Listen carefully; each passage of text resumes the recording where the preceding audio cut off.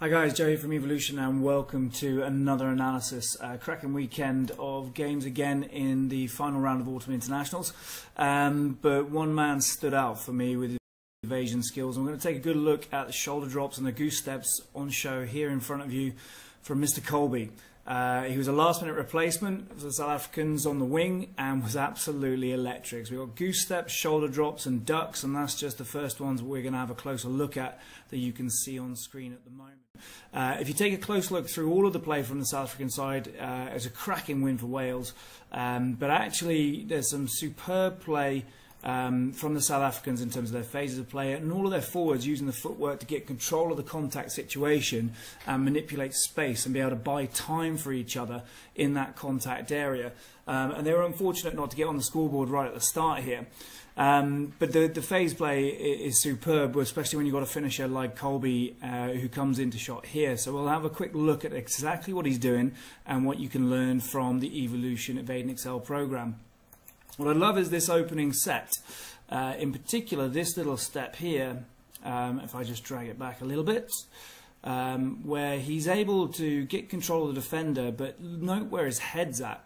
Uh, really important, again, as we've said in previous analysis sessions, to have a look at your opposition man. So, so key again to get an idea of what the challenges are ahead of you. So his head's up and he's looking to provide that defender some information. So what you're looking for next is going to be the goose step. It's a really simple movement here, just watching these feet and this foot in particular extend out in front and be able to give him a really clear um, window of opportunity, I guess is the best way of putting it, to buy time. So he's causing a pattern disrupt with that Welsh defender.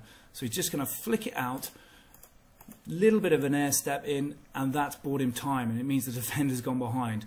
Now, at this point again, you could say that he's uh, kind of used a bit of a hover again. We've seen this foot pattern again before with other guys we've analysed, but what he's looking for again, which is key, is that defender and what are their shoulders doing. And he knows the space that he wants to take. So it's about standing up the man, standing up that defender, and being able to attack this space here. And he uses yet again his favourite, a shoulder drop. So we've seen this in a few other uh, demos recently, but just watch how his shoulders drop in at this point and the defender's square on. So this shoulder is going to drop down. He's going to throw this foot down it's going to make it look like he's loading and it's going to mean that this defender is going to fall this way so that he can actually step inside here. So he might have thought about taking this space with the previous defender but actually he's going to control uh, this defender here and take what's really on offer. I guess the defender could have stayed and stepped and I think he would have probably put the foot down and gone on the outside. As I said he wanted to get to that space but he's then been able to step in and here it is again. Now he knows he's in trouble.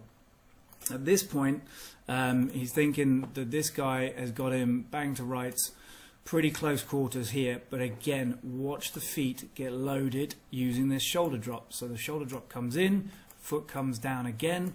This defender is going to overcommit to this side, and his eyes are firmly on his shoulders again. So really key aspect here again is looking at what that defender's shoulders are going to do, provide him some information, steps inside. Third defender, a little bit of a ski step, and we'll see it head on here. So a little bit of a pop up in the air there. There's that goose. Look where his eyes are at again. So we're making sure that this man is actually going to be beaten. So it's about putting the hammer down.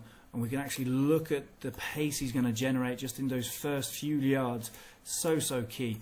Looking up the whole time. Shoulder drop in play. That's this here. Bang.